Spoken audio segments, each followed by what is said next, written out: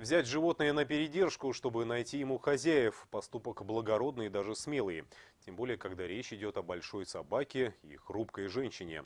Недавно на улице был найден сбитый пес. Уже четыре дня он находится на попечении у одной из жительниц нашего города и делит квартиру с четырьмя кошками.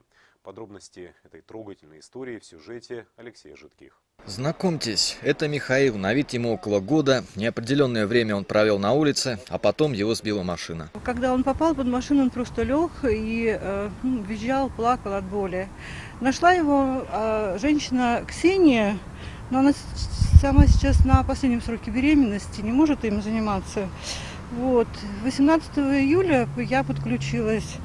Мы отвезли э, пса э, в клинику, сделали ему рентген.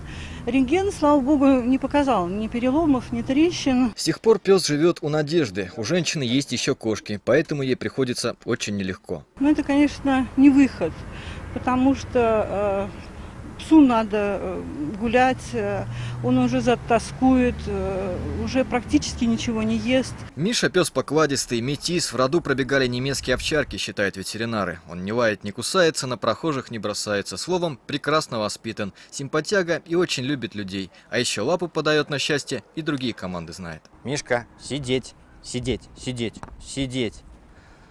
Очевидно, что такую науку Миша самостоятельно никак не смог бы освоить. К тому же, когда его нашли, на нем был вот этот самый ошейник. Отсюда понятно, хозяева у него уже были. Мы вот очень надеемся, что телевидение поможет найти его хозяина, чтобы он жил так, как он жил прежде.